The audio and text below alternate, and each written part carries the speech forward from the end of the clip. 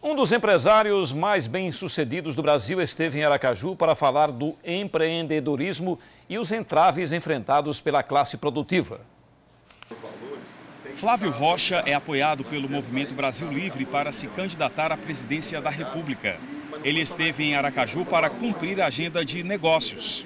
Aqui fez uma palestra sobre como construir um país melhor através do empreendedorismo e da geração de empregos falou também sobre o projeto Brasil 200. O objetivo do Brasil 200 é lembrar que nós vamos fazer 200 anos da independência do Brasil, nos libertamos da coroa portuguesa, mas hoje somos subjugados por uma instituição muito mais tirânica e muito mais opressora, que é um Estado que se dissociou do seu objetivo de servir. Flávio Rocha tem 60 anos, é pernambucano, nasceu em Recife.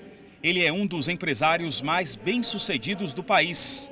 Dono e diretor executivo das lojas Riachuelo, sua fortuna é avaliada em 1 bilhão e 300 milhões de dólares, o que rendeu a ele o 39º lugar entre os bilionários brasileiros na lista da revista Forbes.